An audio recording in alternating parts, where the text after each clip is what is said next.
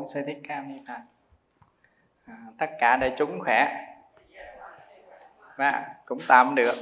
Qua một tuần nữa cho qua nhanh quá ha.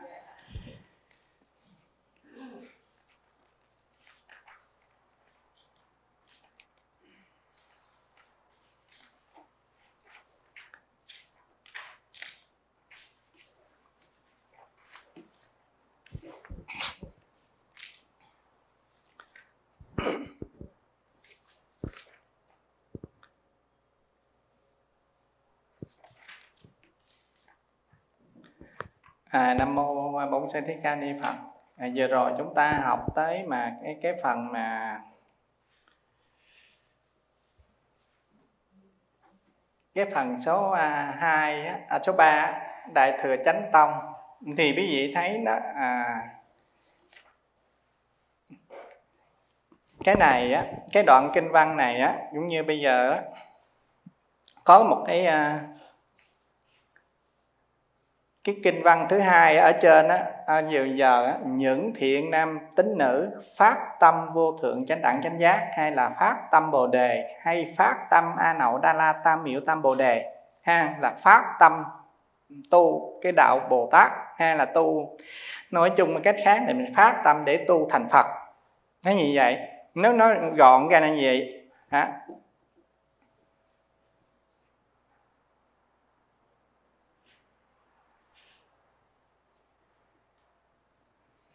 Thì cái nghĩa kinh văn đó cũng như lấy cái này là làm cái chính nè.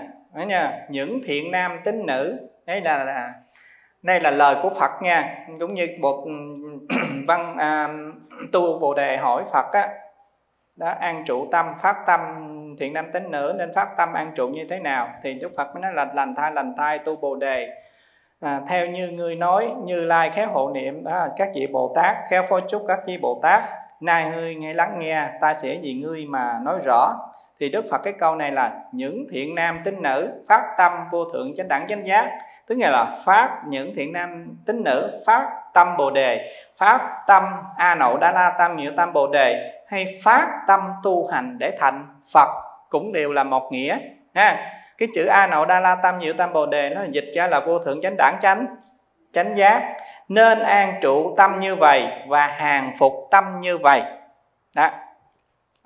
Thì thì Đức Phật mới đưa ra làm nguyên cái một loạt à, là những cái à, Bồ Tát Ma Ha Tát nên hiệu phục tâm như vậy và tất cả chúng sanh. Trong cái tất cả chúng sanh á, trong bốn loài sanh quý vị đã hiểu rõ là bốn cái loài sanh á, nõn thanh sai sanh thấp sanh và hóa hóa sanh nhưng mà cái câu mà hoặc hữu tưởng hoặc à, à, hoặc hữu tướng hoặc vô tướng thì bao gồm hết tất cả. Hay nói cách khác tất cả chúng sanh nào không đủ thứ hết trơn là không không có sót một chúng sanh nào hết. Đó. Kiểu như là không có sót một chúng sanh nào hết ha. Dù cho nó có có biến dạng gì đi nữa có dạng hay không dạng đi nữa có tướng hay không tướng tất cả hết tất cả chúng chúng sanh. Đó là cái đoạn này là nói bao gồm hết tất cả chúng sanh. À, điều khiến cho họ, điều khiến cho chúng sanh, tất cả chúng sanh đó vào vô như niết bàn. Hay là độ hết cho tất cả chúng sanh, cũng vào chữ vô dư niết bàn. Vô dư niết bàn đó cũng là cái biệt danh, cũng là một tên gọi khác của vô thượng chánh đẳng chánh. Giác cũng là cái biệt danh, cũng là cái tên khác của cái tâm bộ bồ đề, hay là cái quả bộ bồ đề. Quý vị thấy nên hiểu được như vậy. Thì chúng ta nguyện độ chúng sanh cho chúng sanh thành phật hết. À, nhưng mà diệt độ vô lượng vô biên chúng sanh là độ được vô lượng vô biên chúng sanh như vậy. Nhưng thật ra thì cái câu này trong chánh văn nhưng thật ra chẳng có một chúng sanh nào dược diệt độ. Thấy quý chị thấy nó mâu thuẫn không? Nhưng mà tại sao nó mâu thuẫn như vậy? Tại sao có như vậy? Là bởi vì đức phật không có muốn cho chúng ta chấp vào pháp độ hay là chấp vào cái sự ngã sở năng. À, sở. Năng độ là ta độ chúng sanh là sở độ là không muốn cho chấp như vậy. Để cho chúng ta chúng ta đồng ý mà còn chấp như vậy thì còn vướng mắt mà còn vướng mắt thì chưa có thể loại là vô như niết niết bàn. Hay là còn vướng mắt như vậy thì chưa có chứng được chánh đẳng chánh chánh giác. Hay nói cái quả vị vô thượng chánh đẳng chánh giác quả vị à, vô như niết bàn là không còn có một mai chấp tâm nào hết mà không có một mỏi mai chấp tâm nào hết, không có lý chấp tâm nào hết, không có cái pháp để mình chấp hết, thì mới chứng được vô thượng bộ bồ đề, mà là còn có chúng sanh, còn có nấy này kia, thì còn có cái chấp chấp tâm, hay nói cách khác, đức phật muốn cho chúng ta an trụ cái tâm vô sở chấp. Phải không? Nó mới được cái vô thượng bộ bồ đề đó bởi vì thấy mình lật ngược lại hay mình đảo ngược cái nghĩa lại hay nói cái khác giảng muôn ngàn cái nghĩa lý à, xa xa gần hay gì đó mình đổ lại cái đổi ngược lại. Vì sao đức phật nói gì bởi vì đức phật muốn cho tất cả người tu đó để xa lìa tất cả các pháp chấp à, như vậy. Cho nên mấy đức phật mới nhớ rắn rằng á, nếu mà độ được tất cả chúng sanh như vậy đó, nhưng mà chẳng ra thật ra có, không có chúng sanh nào diệt độ là đức phật muốn quét đi cái cái cái cái sự chấp của mình. Đó. Nếu, cho nên đức phật mới nói, nếu mà chúng, nếu một vị bồ tát mà còn có mình độ, còn có chúng sanh độ thì rơi vào bốn tướng. Rõ ràng, rất là rõ ràng cái câu, cái đoạn kinh văn này chú là rất là rõ ràng, ha. Bốn tướng à, thì á, tướng ngã tướng nhân chúng chúng sanh tướng thọ giả thì cuối cùng bà còn bốn chấp tướng như vậy thì không phải là bồ bồ tát cũng như bây giờ mình à để gì có cái năng cũng như nói là mẹ hiền thương con. Ha bây giờ mình có mình gọi là mẹ hiền thương con. Là, là thương bình đẳng thương con bình đẳng. Đấy. hay nói cách khác đương như đức phật nói thương tất cả chúng sanh như la hầu la không khác ha? Hay nếu đức phật nói thương tất cả chúng sanh giống như mẹ thương con đỏ. À, ý vậy thấy không? Là không có khác. À. bây giờ nếu mà mình mà có có cái đòi hỏi có điều kiện rồi thì nó đâu phải là mẹ thương con chứ mẹ thương con. Thấy không? À, cũng như bây giờ mình tại vì năm đứa con mình đứa thương cái đứa con có hiếu còn mấy đứa con bất hiếu thì mình thương chút chút cũng thương nhưng mà không thương bằng, thì cái tâm có cái sai biệt rồi, phải không? Mà có sai biệt thì quả báo sai. Sai biệt, cho nên á, tại vì đứa con có hiếu, tại vì nó thương tôi và tôi thương nó thì có điều kiện rồi. Cho nên tất cả như vậy thì không có đúng cái nghĩa để mà tất cả người người mẹ hiền thương. Con, người mẹ hiền thương con, dù con đó như thế nào cũng phải thương đồng điều hả? Mới gọi là mẹ hiền thương con. Mà cũng là mẹ hiền thương con không có nghĩa là con nó có hiếu với tôi tôi thương nó, thì có điều kiện rồi thì không thể gọi là mẹ hiền thương con. Mẹ hiền thương con, không cần qua điều kiện. Đó là như vậy. Đó. Thì cái sự chấp tâm của mình đã có rồi thì phải có thiên vị. Mà có chấp rồi thì có sai biệt. Có chấp rồi thì có phân chia. Mà có phân chia thì phải có tranh cãi nghĩa lý. Hay nói chung cách khác, muôn ngàn sai biệt sẽ xảy xảy ra. Cho nên cái nghĩa bình đẳng cái nghĩa bất nhị cái nghĩa mà tâm bồ đề dồn hết hết này thì không có cái nghĩa sai biệt. Mà không có nghĩa sai biệt á, thì đâu có ai tranh chấp với ai đâu. Ha? Thì đó là cái cái cái đoạn kinh văn đó. Thì cho nên mới nói tiếp qua cái đoạn qua cái đoạn kinh văn à, như thế này. Đã thì đó đây là đề cái câu mà số à, số 4 phải không? Diệu hạnh vô trụ. Thì vì từ cái chân chỗ đó nó mới bắt nguồn qua cái câu bên đây đó. Lại nữa tu bồ đề. Bồ tát à, bồ đề bồ tát ở nơi các pháp ưng vô sở trụ mà hành cái việc bố thí. Cái gì? Ưng vô sở trụ á, là cái tâm không có vướng mắc không có cái chấp nha chấp tâm nha. Vô sở trụ á, là không có chấp tâm. Có chấp tâm là có sở trụ ha. Đó, trụ vào cái gì cũng là có vi vướng mắc ha thì tức là chẳng trụ nơi à, chẳng trụ nơi sắc bố thí chẳng trụ nơi thanh à, hương vị xúc bố thí tu bồ đề. À, bố thí à, nên chẳng trụ nơi cái tướng như thế tại sao? Bồ tát. Bồ tát chẳng trụ nơi tướng bố thí thì cái phước đức chẳng thể lường. Cái gì thấy. tu bồ đề ý ngươi thế nào? Hư không à, phương nam à, phương à, phương đông có thể suy lường chăng? Tu bồ đề bạch phật dạ không. Tu bồ đề hư không các phương tây à, nam bắc và trên dưới có thể suy lường chăng? Tu bồ đề bạch phật dạ không. Tu bồ đề bồ tát bố thí chẳng trụ nơi tướng phước đức chẳng à, cũng như vậy chẳng thể suy lường tu bồ đề bồ tát cần an trụ tâm như đã bảo. Cái gì? Thì tâm như đã bảo là tâm như vậy là không bị không cứ vướng mắc không có trụ. Đó là cái tâm không có sở trụ. Ha thì qua cái đoạn kinh văn này á chúng ta thấy đó trong cái phần mà trước á, trong cái phần hồi nãy chúng ta đề cập đó đoạn kinh văn đầu tiên Đức Phật à, rằng này thiện nam tín nữ đã phát tâm vô thượng chánh đẳng chánh giác rồi và à, hay là phát tâm a nậu đa la tâm miệu tâm bồ đề rồi. À, thì an trụ tâm như vậy và hàng phục tâm như như vậy đó thì quý vị thấy đưa ra tất cả các pháp đều không bị vướng mắc. À, cũng như bây giờ hôm nay chúng ta nói độ chúng sanh, mà còn trụ cái tướng độ chúng sanh cũng là chướng mắt, cho nên cái đoạn kinh văn hồi nãy là quét hết. Rồi qua cái đoạn kinh văn mà bố thí nè, ha. Quý vị thấy qua đoạn kinh văn bố thí thì đức phật cũng phải quét hết. Mà quét hết thì nó cũng khó, nó khó làm sao là bởi vì chúng sanh thì hay chấp vào cái việc bố thí hay cúng dường hay phước đức nếu mà còn cái tâm mà hạn lượng như thế đó, cho nên đức phật mới ví dụ rằng người có tâm hạn lượng á, thì có cái số lượng. Mà khi có số lượng rồi đời này hưởng không hết thì đời sau cũng phải hết. Cho nên không có không có phải giống như người bố thí mà không có trụ nơi cái công cái cái cái bố thí đó cái pháp bố thí đó thì cái công đức đó mới là vô lượng vô biên. Mà khi trụ không trụ như cái công đức đó không trụ nơi pháp đó mới là tự tánh bố thí. Thấy không? Cái tự tánh mình bố thí thì nếu mà đã tự tánh bố thí rồi thì giống như hư không ở phương bắc phương đông phương tây phương nam phương trên phương dưới nó có số lượng chăng? À, thì tu bồ đề nói dạ không. Thì người bố thí công đức cũng như như vậy.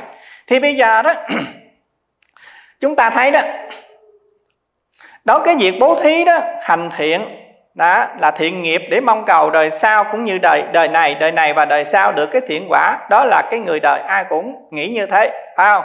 Cũng như bây giờ cũng như có nhiều người nói ông tôi tích đức tôi tích à, tu hành phước đức tích đức để lại cho con con cháu. Ha nó cũng có cái quan niệm đó. Thì cho nên á thì để lại cho con cháu đối với người thế gian thì làm việc thiện thì ắt được cái à, cái cái à, cái quả thiện. À người gieo cái thiện nhân thì sau này được cái quả thiện. Đó là cái điều hẳn nhiên. Nhưng mà đối với thế gian á cái người mà không làm thiện á, thì đâu bằng cái người làm thiện. Ha? Giờ cái mặt thế gian mình thấy cái người làm thiện đi nhưng mà họ chấp vào cái thiện. Cũng như bây giờ mình mình đi bố thí. Hay đi làm việc bố thí có nhiều người mình thấy lên đài bố thí hay là gom phiên gọi đi là quỷ lão ở à, bảo lục hay cái gì nói hãy ghi cái tên của tôi à. Mới được, ha. Nhiều khi ghi đúng cái tên rồi đúng cái địa chỉ nó nữa, ha. Rồi phải đọc lên, số phone lên.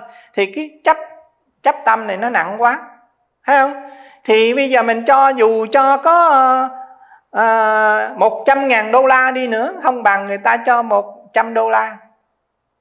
Đó nếu nói về cái tâm của mình hạn lượng thì 100 đô la nó tốt hơn. Ok tôi bố thí rồi xong ai muốn làm gì làm. Còn người 100 ngàn nhưng mà thế này hoặc thế kia. Hay nói cách khác nhận 100 ngàn thấy nó nặng nề quá mà một à, à, một à, trăm đô la mà thấy nó nhẹ nhàng. Về cái tâm mình làm nó nhẹ nhàng. Đó. Cho nên người đời á ai cũng thích ai cũng mà đối với cái người đời mà thiện nghiệp á, gieo thiện nhân được thiện quả đó là cái điều bình thường đó là cũng gọi là cái người tốt rồi. Thì hôm nay mình là cái người phật tử rồi ha. Thì đối với thế gian mình không có làm nữa bây giờ đối với phật tử mình tiến thêm một bước rồi. Cái chuyện cúng dường hay việc bố thí ha cái việc cúng dường là cái chuyện mà cái bổn phận của người phật tử tại tại gia. Đó phát tâm tu hành thiện nghiệp thực hành cái lời phật dạy của phật để cầu cái đạo giác ngộ à cầu được giải thoát. Cho nên hôm nay không phải mình việc mình bố thí cho nên nó có hai hạng người như là một người phật tử nhưng mà mình bố thí. Ha làm việc cúng dường bố thí nhưng mà mình chỉ cầu phước thôi. Nhưng mà cũng có người phật tử làm việc cúng dường bố thí mà mong cầu sau này mượt thành thành phật. À, cái nó cũng khác nữa. Cho nên hãy mình cầu phước thì phước đến mà cầu quả thì quả quả đến. Cầu ở đây không phải là là mình đốt cái nhang lên mình cầu phật. Để cho con được thiện quả. Không phải. Cầu ở đây sau này cái nhân bố thí này nó sẽ được cái quả bố bố thí. Chứ không phải là cầu phật để là tôi được cái phật cho tôi cái phước báo, không phải. Nếu nói như vậy thì phi nhân quả. Hay nói như vậy thì nó đâu có được đâu. Nó đạo phật nó nó không có đúng. Đó. Cho nên á, khỏi cần cầu. Làm thiện nhân, sau này có thiện quả. Đó. Không có cần phải cầu còn cái nhân mà đến chậm đến mau á hay đến lâu đến sớm đó là cái chuyện cá nhân của cái người phát tâm đó. Cái gì chứ? Tại sao nó đến lâu đến chậm đến sớm hay là có người ta bố thí ta có thể đời này ta hưởng có người bố thí phải đời sau hưởng có thời bố thí phải đời sau nữa. À, tại sao vậy? Là bởi cái tâm mạnh với tâm yếu cũng như tâm mà mình mạnh nó phát tâm mạnh á thì cái nhân nó phải mạnh mà nhân mạnh thì quả nó phải nhanh còn nhân yếu thì quả yếu quả yếu thì giống như cái nhân nó quanh co, cái nhân nó co queo rồi thì cái làm sao nó nó nó sớm được để có quả để mà hưởng. Cũng như bây giờ đó, mình ở trong hoàn cảnh ngặt nghèo nhất mà mình biết bố thí hay cúng dường, cái đó mới là cái nhân nó mạnh. Cũng như bây giờ 100 đô hay là một cái số tiền này là cái tiền sanh tử không? Mà cái tiền sanh tử này nhưng mà gặp một cái hoàn cảnh gì nó nó còn ngặt nghèo hơn mình nữa mà mình gan mình gọi là cắt cái đồng tiền cúc ruột này mình giúp cho người khác, hay là mình giúp đỡ một người khác, hay là mình cho người khác, hay là bố thí, hay là cúng dường. Cái này là cái nhân nó mạnh. Mà nhân mạnh thì quả phải đến liền. Ha? còn nếu như bây giờ mà còn xẻn xẻn nữa, nếu như bây giờ cho một chút mà chừa một chút, không cho một phần trừ hai phần, hay cho là hai phần trừ một phần, thì bây giờ mình cái tâm mình tính toán so đo thì cái quả phải yếu đó. thì thì đối với cái người mà làm việc bố thí đối với người phật tử như vậy á à, thì mình cũng thấy có nhiều nhiều hạn có nhiều hạn cho nên á, cái quả báo được sai sai biệt nó không có cách nào hơn thì có người thì cầu cái phước báo nhưng mà có người ta cúng dường bố thí để ta cầu cái quả báo phật phật quả hồi hướng cái quả đó, hồi hướng phước báo này đến phật quả, chứ không có hồi hướng phước báo này đến cái phước báo đời sau. Không cần cái quả chư thiên hay gì hết trơn. Cho nên mình thấy phật tử cũng có nhiều dạng, kiếm nhiều cái sự phát tâm, phải không? Người phát tâm để cầu phước, người phát tâm để à, cầu an lành đời sống, có người phát tâm không? Tôi muốn đời sau gieo duyên thành thành phật. Nói cách khác là như vậy, thì cái quả báo nó sai sai biệt như thế đó. Thì đối với người giờ mình đã hai người như vậy rồi thì mình đã hiểu rồi. Người đời thường hay ác mà bố thí nữa là tốt rồi. Và bây giờ phật tử cũng có hai nữa. Bây giờ không ác nhưng mà bố thí nhưng mà bố thí trong cái có cái cầu trong cái vô cầu. Còn người bố thí vì cái phật và à, cái phước báo của đời người ha. Còn người bố thí vì cái cái à, cái quả vị giải thoát bồ đề. Nó hai cái nó cũng khác có nhiều cái dạng khác biệt. Bây giờ mình tiến thêm một bước nữa. À bây giờ mình là cái người phật tử tại gia thọ bồ tát giới phải không? Cũng như vừa rồi mình cũng chùa mình cũng có cái à, cái đại giới đàn đó cũng có nhiều người phát tâm bồ uh, bồ tát đó, thọ bồ tát giới đó. Thì bây giờ thọ bồ tát giới rồi. Nhưng mà trong cái đạo bộ trong cái giới bồ tát đó là mình phải bố thí à nghe còn như bất tử là không bắt buộc nhưng mà khi mà đã thọ giới bồ tát là phải bố thí à phải cúng dường à chứ không có bỏn sẻn à. Nhá yeah, à, trong có có cái đà, có lực là phải bố thí. Không bố thí là không có được. Cho nên gì tại bố thí là tại sao? Để mình xả bỏ à, xả bỏ cái của mình. Đồng thời bố thí để chi? Bố thí để gieo cái thiện duyên với cái chúng sanh đó. Sau khi tôi thành phật rồi cái chúng sanh đó tôi mới thuyết pháp độ sanh. Nó hai cái.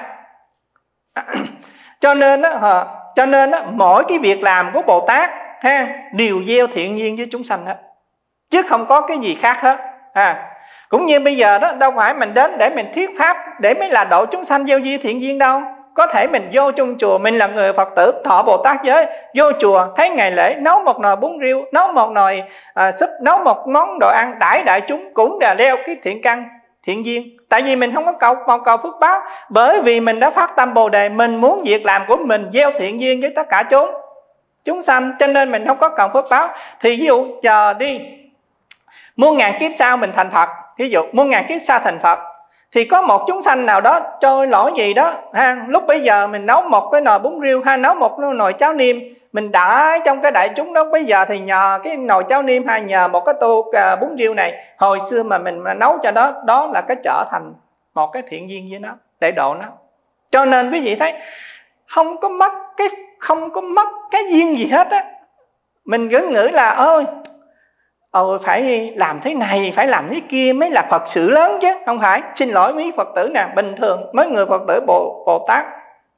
Tại với bồ tát này vô đến chùa. Ha mình bước vô cái restroom bước vô toilet bước vô nhà tắm bước vô nhà, nhà vệ sinh cảm thấy dơ giấy không là bừa bãi. Đích thân dọn dẹp quét dọn cũng là gieo thiện duyên. Chứ không phải là cầu phước báo nữa. Tại vì cái tâm phát nguyện độ tất cả chúng sanh giàu vô như niết bàn.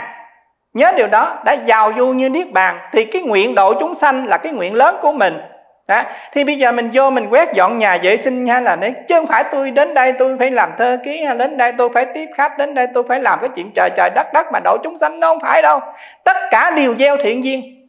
Nếu mình đã có tâm bồ tát rồi ha.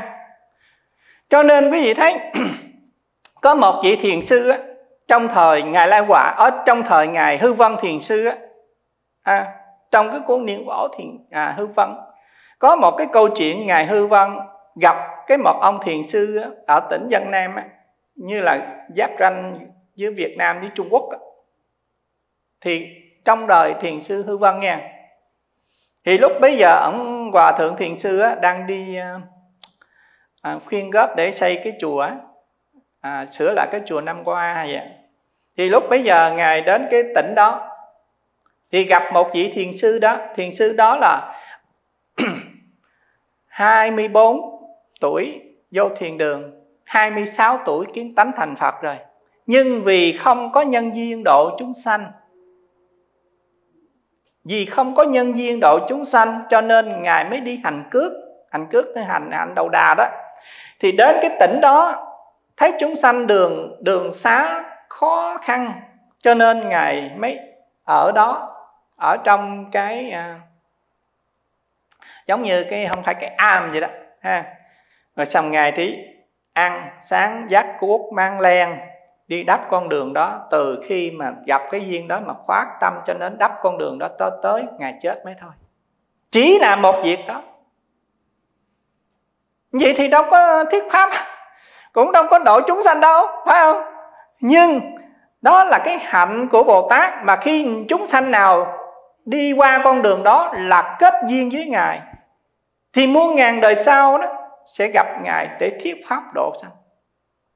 Thì nhân duyên này nó cũng không có mất. Chứ không phải ngài đắp lộ đắp đường để cầu cái phước báo. Nhân thiên đời người, không phải mà đắp lộ ở đây ngài phát cái nguyện đắp độ ở đây để gieo thiện duyên với chúng sanh. Bởi vì trong khi đức à, ngài thiền sư đó đã kiến tánh rồi mà không có duyên để độ chúng sanh bây giờ chỉ đắp lộ kết cái duyên với chúng sanh thôi. Quý vị thấy không? Đó. chứ đâu phải ngài kiếm cái phước báo đâu. Cho nên những cái việc làm của mình khi bước vô chùa gặp cái gì mình cũng có thể làm công quả công phu hết. Không có kén chọn cái gì hết à, cũng như mình trợ mặt mũi tôi gì? Sao mà vô restroom để dọn dẹp? Mặt mũi tôi gì? Tôi cầm chổi quét à? Thì thì nó cái ngã nó quá nặng đi cho nên quý vị khi mình phát cái tâm ma nậu đa la tâm diệu tâm bồ đề rồi nguyện độ tất cả chúng sanh rồi thì tất cả việc làm việc nhỏ việc lớn việc trên việc dưới việc gì đi nữa cũng là gieo thiện căn với chúng sanh. Không bao giờ mất. Chứ không phải mình cầu cái phước báo à, khác rồi đó. Phải không? Dạ. cho nên vì vậy mình không có hiểu cái đoạn kinh văn này. Nếu người nào chưa có học cái đoạn kinh văn thầy thì phải chọn việc không? Việc làm không? Tại cái nhân duyên của mình chưa tới thì mình chưa làm cái chuyện lớn, thì mình làm chuyện nhỏ. Chuyện nhỏ xong thì chuyện lớn nó mới tới chứ. Quan trọng cái đạo hạnh của mình nó nó tròn do đi thì mình để đâu cái giống như viên bi á. Ha. Viên bi á, mình để trên cái mặt phẳng này không có lăn được nhưng mà chỉ cần có một độ nghiêng chút xíu thôi. Tự nhiên nó lăn à phải không? Thì bây giờ mình chưa có duyên độ chúng sanh mình thì mình rọt rội rửa hay là dũa đẻo cái hạt bi của mình. À, ví dụ vậy đó. À, gốc u gốc nhọn gì đó tâm chấp này nặng quá vô cửa nhà cầu thời gian tự nhiên biến mất. Phải không? Thì giờ quét sân cho người à, người thế gian đi người thế gian không đi thì cũng có thánh nhân đi. Không có sao thì bây giờ duyên chưa tới thì làm những việc nhỏ. Còn duyên tới rồi thì làm chuyện lớn. Cho nên á cái tâm bồ tát ở đây á, không có kén chọn cái phật sự mà tất cả phật sự đều gieo thiện duyên cho chúng. Chúng sanh. À, quý vị thấy. Thì đến cái người mà cái bồ tát như vậy thì đến cái người cái hạng người thứ à, thứ à, thứ tư ha thì cái hạng người thứ tư á đúng như đó cái người phật tử phát nguyện hành cái hạnh bồ tát rồi hành cái đạo bồ tát rồi cứu độ chúng sanh rồi thì chúng ta không có phân biệt gì hết đó chúng sanh nào cũng đáng thương chúng sanh nào cũng đáng độ. Chúng sanh nào á cũng là mình gieo thiện căn gieo thiện duyên hết chứ không có chúng sanh nào hết. Cho nên tới đây thì mỗi khi mà sư ông thiện nhân á, mà làm ngài làm việc gì đều gieo cái quyến thuộc hết. Không có không có ờ, phân biệt. Đúng pháp đúng pháp và đúng pháp. Đây giống như chúng tôi kể lại một cái câu chuyện rất là nhỏ khi chúng tôi còn ở với sư âm thiện nhân. Ha, lúc bấy giờ chăm mới có thượng tọa thôi à ở chùa Minh Đảo đường Kỳ Động. Đó. chứ ông là trụ trì ở đó. Lúc bấy giờ đó, có cái một bà già. Bà cũng mập mạp lắm. Mà bà, cũng như bà ở dơ lắm. Mà xin lỗi, tôi xin lỗi nha. Để kể cái này ra cho quý vị biết. Cái bậc chân tu nó khác mà bà mà vô chùa bà ngồi lúc nào bà cũng ngồi. Là cả chùa chứ mấy thầy lúc đó sư phụ đi rồi thì cả chùa ai cũng chạy hết tại bà hôi vậy lắm. Mà chịu không nổi luôn. Đó là thực tế.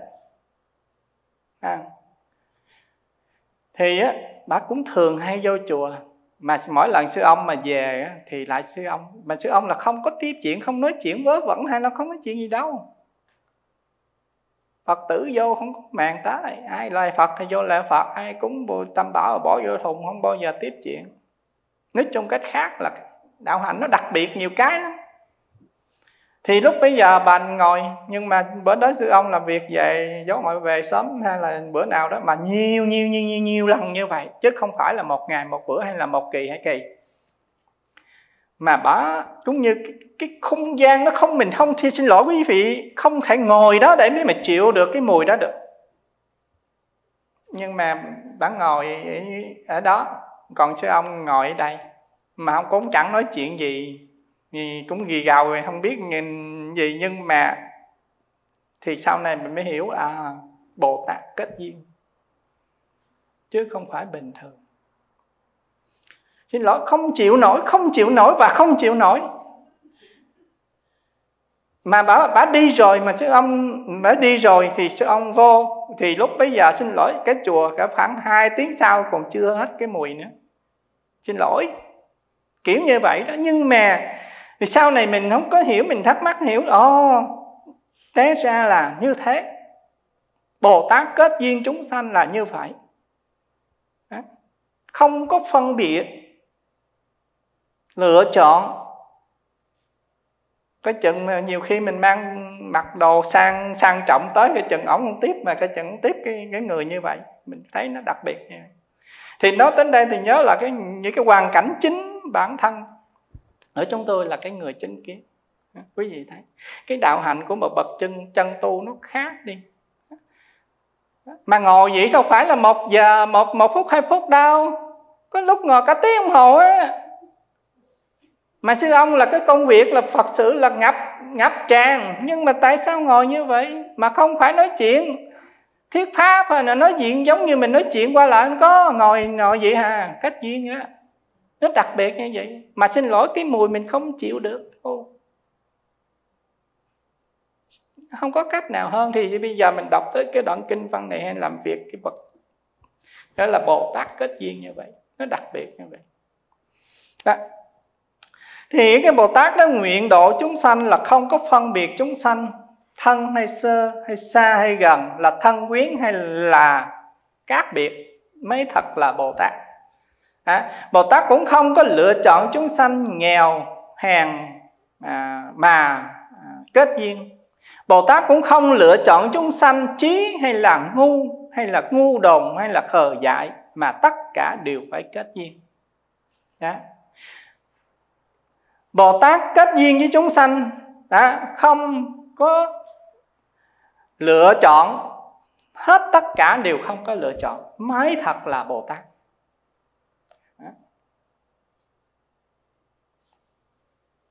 Còn tùy theo cái duyên để mà kết nữa. Đó. cho nên á, nhiều khi mình thấy chống đối nhưng mà bồ tát kết duyên nghịch. Nhiều khi mình thấy thuận duyên nói chuyện vui vẻ cũng là kết duyên thuận cho nên khi mà quả báo hay là cách khác cái nhân duyên quá độ chúng sanh của một vị bồ tát hay của một vị phát tâm a nậu đa la tâm hiệu tâm bồ đề rồi ha thì á mình không có phân biệt bất cứ một chúng sanh nào hết à, là mới đúng cho nên trong khi mà hành đạo hay tu đạo á, xin lỗi bồ tát mà gặp nghịch duyên thì lại mừng hơn là thuận duyên. À, nghịch duyên mừng hơn cái thuận duyên. Cho đến cái công việc phật sự cho đến hoàn cảnh tu hành hay là cho đến bồ tát tại gia hay là bồ tát tại chùa đi nữa à, cũng đều cái nghịch duyên mà mừng hơn. Là tại sao vậy? Giống như á, mà thuận duyên á cho nên á, tổ sư lai quả đó nói mà ngày nào mà người ta không có ờ, mắng không có mắng giết đánh đập tôi là ngày đó tôi lỗ vốn. Ứng hiệu kiếm như vậy. Ngày nào mà không có ai sỉ nhục hay sỉ nhổ thì ngày đó lỗ vốn. Nhưng mà mình thì ta mình đâu có chịu gì người ta khen thì mình thích à. Mình nói trà cái thượng duyên hành đạo cho mình hành tiếp. Còn mình đi nghịch duyên người ta cái người ta chê mình cái chắc có lẽ số mình không có duyên. Thì thối tâm bồ đề. Không phải. Nhưng mà bồ tát á, giống như tổ la quả nó ngày nào mà không có bị à, bị bị khảo á ngày đó lỗ vốn. Là là bị lỗ vốn rồi thâm thủng ngân sách rồi thâm thủng rồi, túi ha thì thì đối với cái việc bồ tát mà mình đi hành đạo hay tu đạo hay là hoàng đạo đó thì tất cả đều gì cái đạo bồ tát. Chứ không có gì phước báo nhân thiên hay là đời người. Cái gì đấy cho nên khi mình qua đọc con kinh văn này từ ngay đến hôm nay mình trở chuyển cái tâm của mình. Ví dụ đến chùa hay việc à, đến chùa hay giúp chùa làm việc phật sự cái gì đó thì không có cầu phước báo nữa mà chỉ cầu nguyện kết duyên tất cả chốn chúng sanh. Để cho chúng sanh có cái duyên sau này để mình độ cho tất cả chúng sanh để mà giàu vô như niết bàn. À, đào giàu vô à, vô dư niết bàn. Chứ ngoài mục đích vô dư niết bàn ra không có cái ý khác. Phải phát cái nguyện như vậy. Cho nên khi mình phát nguyện mạnh như vậy đó thì gặp cái duyên trái nghịch chừng nào á cũng vượt qua. Còn nếu không á thì vì phước báo á thì nó dễ bị thối tâm bồ đề. Đó là gì còn cái tiếp đến cái đoạn kinh văn á, mà chúng ta thấy nó có hai cái đây nè ha.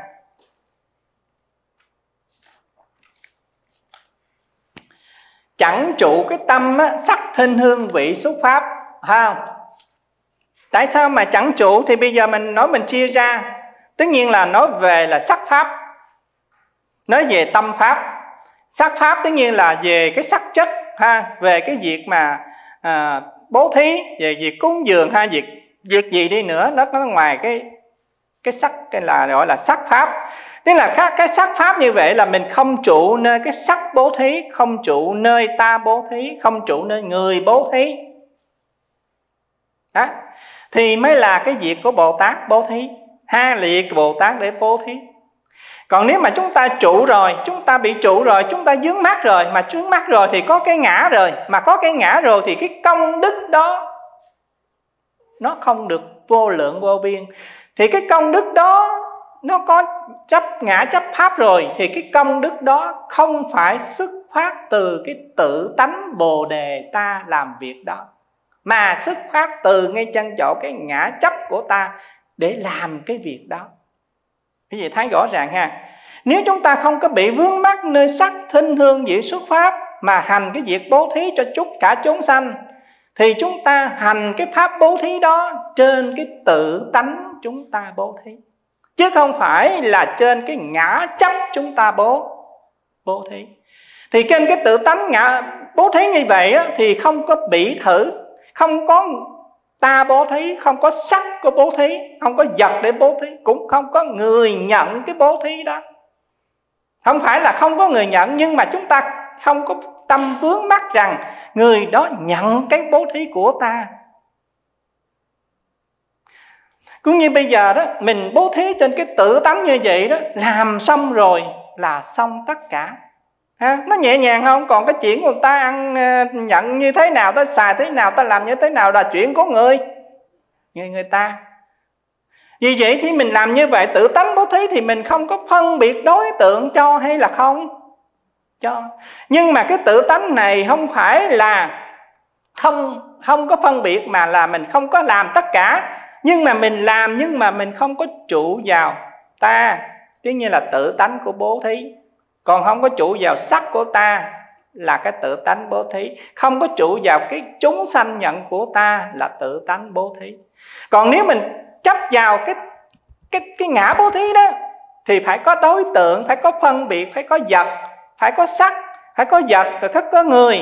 Thì cái bố thí đó có phân biệt rồi làm cho chúng ta phiền não căng ngay trong cái việc bố thí mà cũng trở thành phiền não nữa. Phải không? Đó. và chúng ta cũng như bây giờ chúng ta đi nói đi, bây giờ chúng ta đi à, phương góp để bà đi bố thí đi, ha. Bây giờ có nhiều người thì có tiền, có nhiều người thì cũng đủ ăn đủ mặc, nhưng mà ta cũng nhín ra được đi bố thí ví dụ giờ những người phật tử lớn tuổi không làm giờ ca tiền, cũng nhờ tiền và phúc lợi của chính phủ, nhưng mà cũng có tâm đạo để bố thí. Ví dụ bây giờ, được tháng cả ngàn, giờ xài hết còn có 300 300 mà nhích ra trong một ngàn là nhiều không? Quá nhiều hết chứ. Tại vì ba trăm một ngàn này, một ngàn này không phải là chỉ một ngàn đưa cho mình. Lúc nào là tiền điện, tiền nước thì tiền cá nhân, nói chuyện ăn uống, nói chung cách khác thì cũng còn lại có mấy trăm tiền già thì cũng còn lại 300 một tháng như vậy. Mà nhín ra 300 là việc này là quá nhiều cái đối với một tài sản hay đối với một cái tháng lương hay đối với một cái income của người phật tử này đâu phải chuyện vừa đâu. Phải không? Đó. Không phải là vừa, còn đối với những người kiếm hai ba chục ngàn, trăm ngàn, một năm, một tháng thì chuyện đó bố thí là chuyện rất là nhỏ. Nhưng mà có những người phật tử, thế giới cái khác là cắt cúc ruột ra để bố thí, chứ không phải chuyện vừa. Nhưng mà tại sao người ta hành cái việc đó được là bởi vì có cái đạo tâm. Bây giờ hiểu thêm một bước nữa, vì đạo pháp. Hiểu thêm một bước nữa vì đạo bồ đề. Biết không? Vì đảo bồ đề, thôi, mình có miếng ăn san sẻ cho người khác, cùng có miếng ăn để kết duyên duyên lành. Nhưng mà bây giờ mình bố thí như vậy. Ví dụ giờ mình còn bố thí vào cái chấp tâm. Có đối tượng ví dụ mình đem về, mình về Việt Nam, mình gửi Việt Nam. Có nhiều người ta nói, đúng là thật người, thật cảnh, thật vật. Nghe cái thật đó nó đúng là thật bố thí, nghe không? Người nghèo, cảnh nghèo, của mình cũng nghèo. Cho cái người này đúng việc luôn nhưng mà nhiều khi trong cái 100 người, trăm 100 phần như vậy, chỉ có 40 phần nó đúng việc thôi. Còn 60 phần là cái giả dạng sao? Phải không? Mà khi giả dạng như vậy, mình phải phân đo, phân chia. Giả dạng như vậy thì mình phải phân chia, rồi ta sanh tâm bị thử. Chờ người đó giàu ông tôi mà tôi bên đây tôi còn nghèo ông chết mà tôi với bố tí mà qua bển. Thì cái phải phân phân biệt không? Mà khi phân biệt như vậy thì cái tâm nó so đo không? Mà tâm so đo có phải là thối không? Cho nên làm việc ai, khi mình làm việc bố thí rồi, sợ người không nhận chứ đừng có sợ người nhận. Okay. sợ người không nhận chứ đừng có sợ người nhận, phải không? Thì người ta dám nhận thì mình dám bố thí. Nếu mình có tâm như vậy thì lúc bây giờ cái tâm đạo của mình cao rồi, phải không?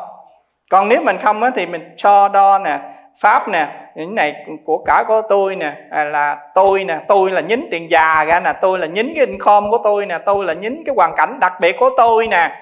Ha ra nè với cái tài di vật như vậy là cái tài vật như vậy là với cái cái cái tiền như vậy nè. Hôm nay tôi đi bố thí cho cái người này nhận là phải người này là phải đối tượng thật sự là nghèo nè.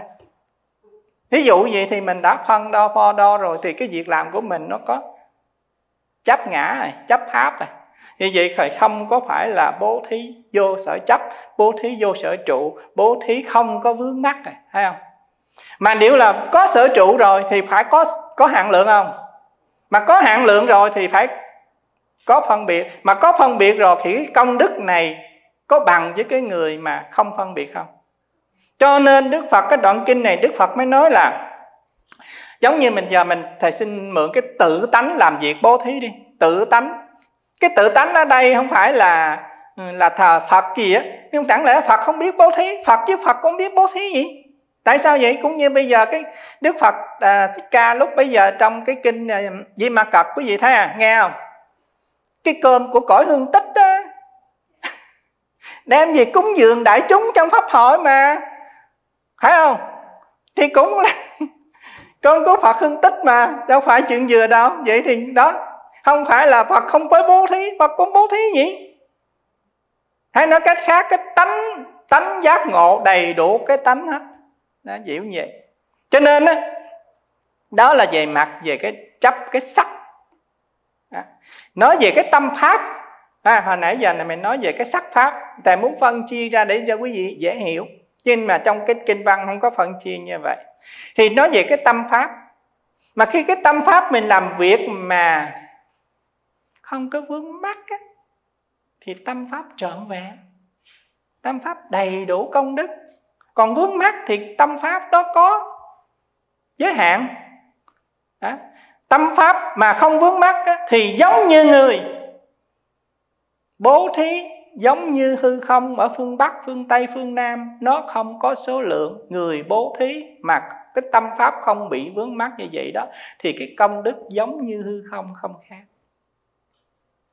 như vậy thấy à rất là rõ ràng trong cái đoạn kinh văn này. Đó.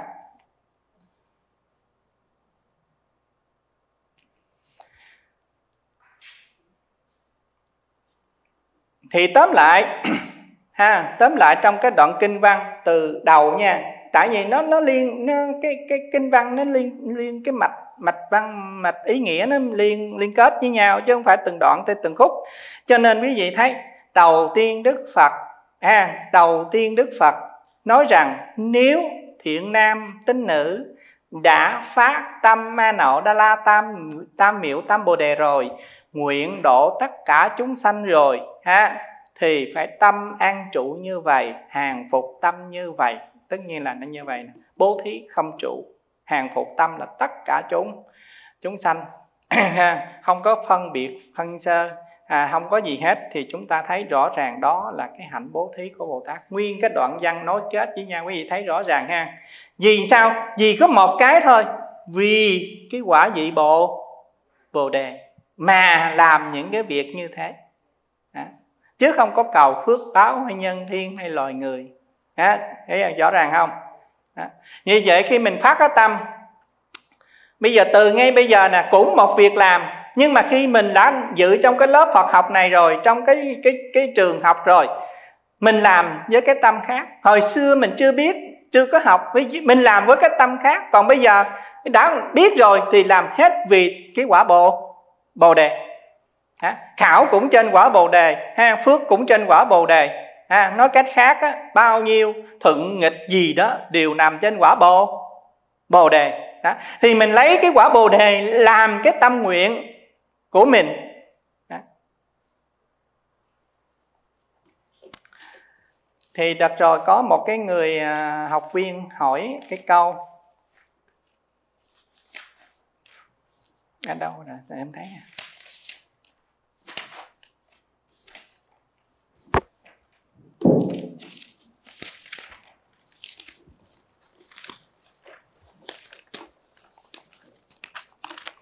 Thì đặt rồi hỏi nhưng mà thầy đọc cái tờ giấy đó gây sao quá mà lại biết uh, à, nhiều quá viết dòng viết dòng do nhiều cho nên thầy không có đủ thời gian.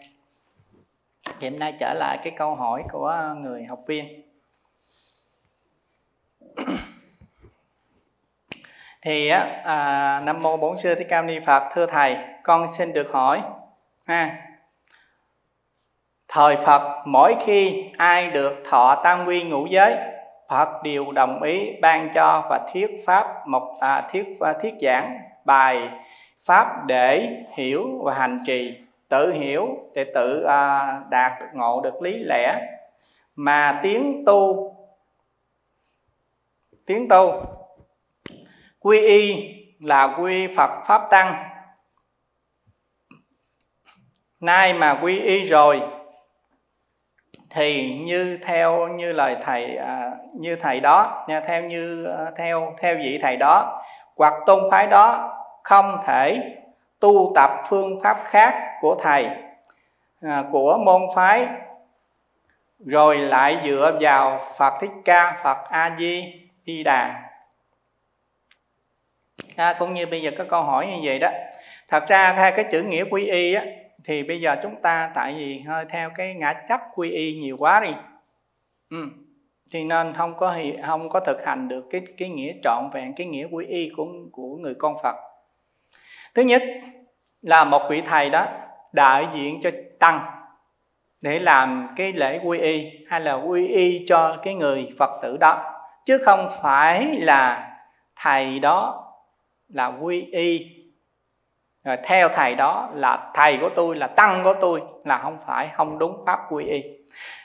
Vị thầy đó là đại diện cho tăng cho tất cả chư tăng chứ không phải là vừa đâu không phải tầm thường đâu. Cho nên á khi mình quy y rồi là thầy đó đứng ra để đại diện để chứng minh quy y cho mình trở thành một thành viên của Phật à, con Phật thôi chứ không phải là mình là cái người đệ tử ông thầy đó đó là đúng vào cái nghĩa quy y. Ha.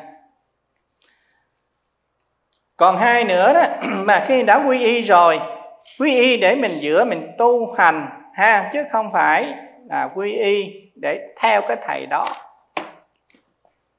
Cho nên ai nói đến thầy mình thì không chịu, ai chê thầy khác thì thì thì im im im lặng là không đúng mà.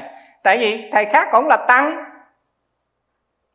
cho nên khi quy y rồi là quy y tăng ý nghĩa của tăng là tất cả thầy đều là thầy của mình hết. À, thì mới đúng. Ai mà phỉ bán đến tăng là phỉ bán đến thầy mình. Chứ không phải phỉ bán ông thầy quy y mình là thầy mình không phải. Đại diện thôi. Còn thầy quy y đó là đại diện cho chư tăng để quy y người phật tử đó chứ không phải quy y người phật tử đó để làm cái sở hữu của một ông thầy nữa nó ngược lại nữa. Đó.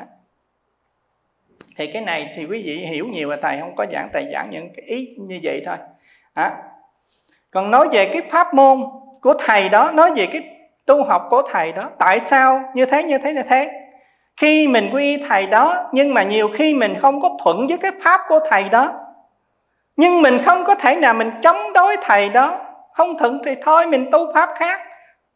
Thì ok, không có sao. Nhưng ngược lại, đó là, nhưng mà không phải mình bỏ ông thầy đó. Cũng là thầy thôi. Để mình có duyên với thầy đó là cái nhân duyên gần của mình thì mình tới lui mình để mà hậu pháp tới lui, để mình hộ trì tới lui, để mình tu học. Còn ví dụ ngược lại, nhưng mà pháp cái thầy đó hành không không có đúng với cái cái ý của mình. Cũng không có thể bỏ thầy đó, tại tại mình gần gũi nhưng không thọ pháp thì mình thọ pháp một thầy khác thọ pháp một cái kinh khác có thể mình hành trì. Nhưng mà ngược lại ông thầy cũng không thể bắt mình phải hành thì đúng theo cái pháp của thầy hành mới được nữa. Cũng không được nữa. Ý, nó có hai cái vé ngược lại thì mới đúng được. Không thể nào ví dụ giờ tôi thích tu thiền mà ông thầy tôi là tu tịnh độ tôi không thể tu thiền được tôi phải tu theo tịnh độ của ông thầy tôi mới được là cũng không đúng nữa. Ví dụ đó là cái ngã rồi chứ không phải là cái pháp quy y ví dụ đó là những cái như vậy.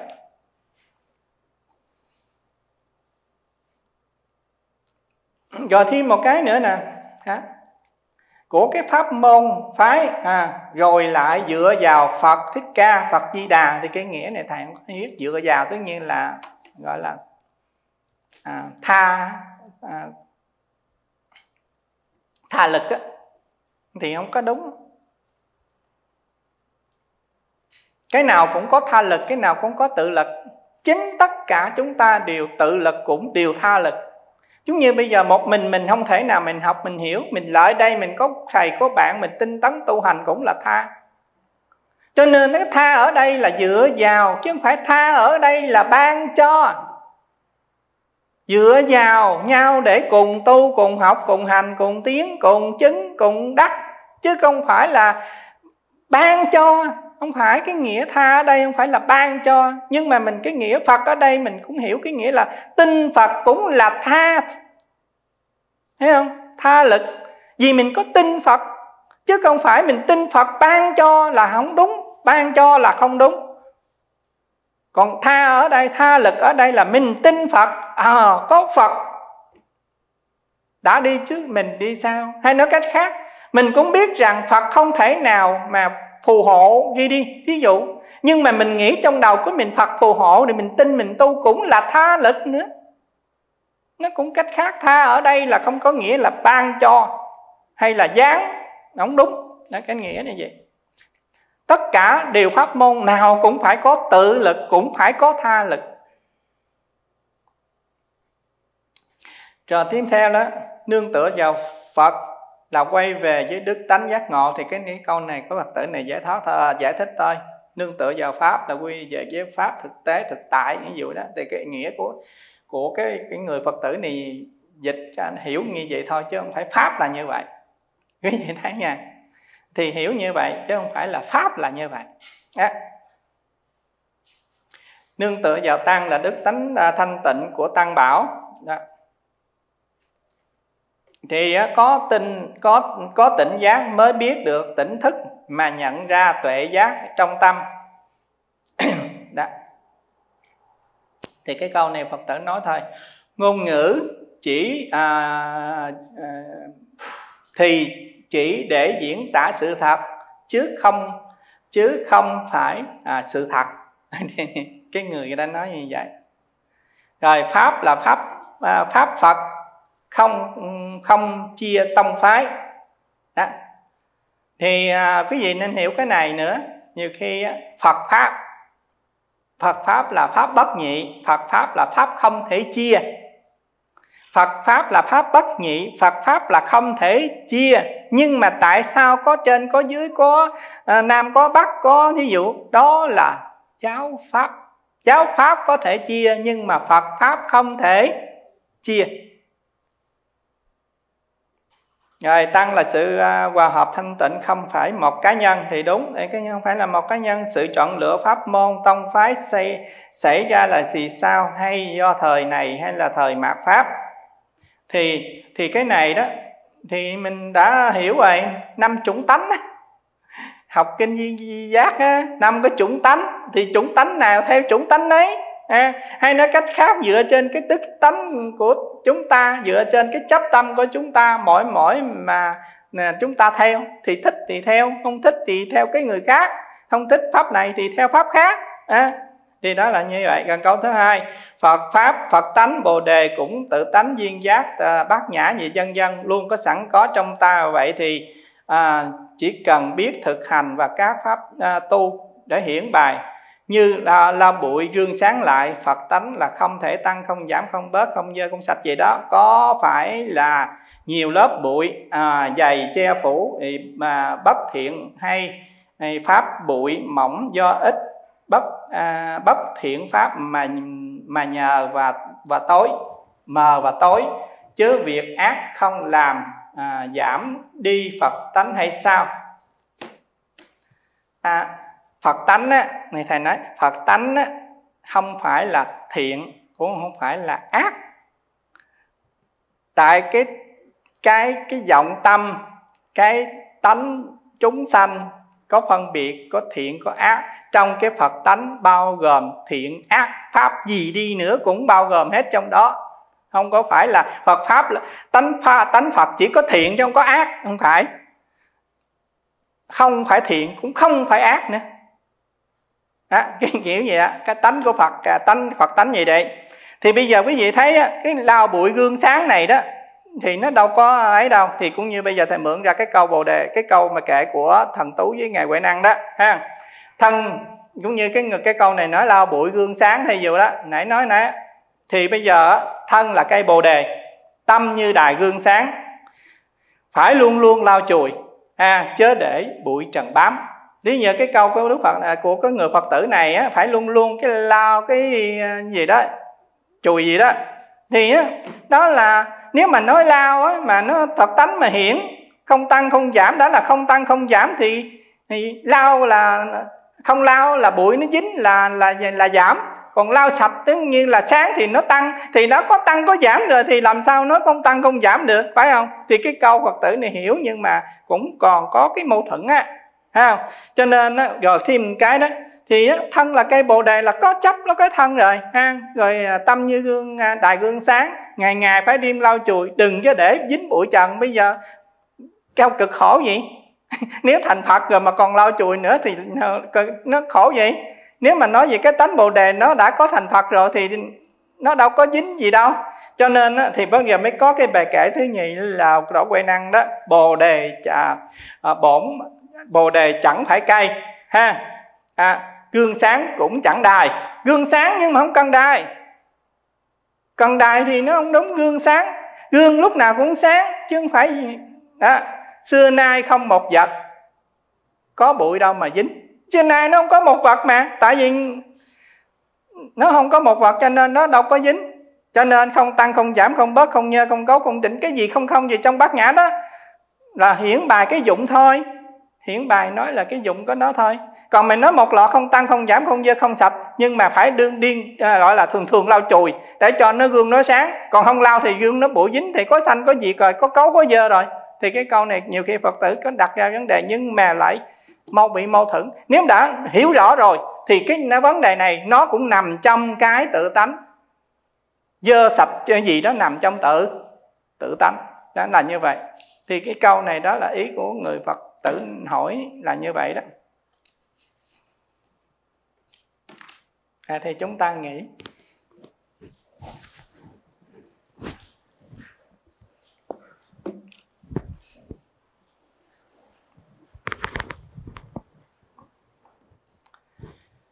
nguyện à, đem à, công à, đức này hướng về khắp tất cả để từ và chúng mà sanh đều trọn thành Phật đà.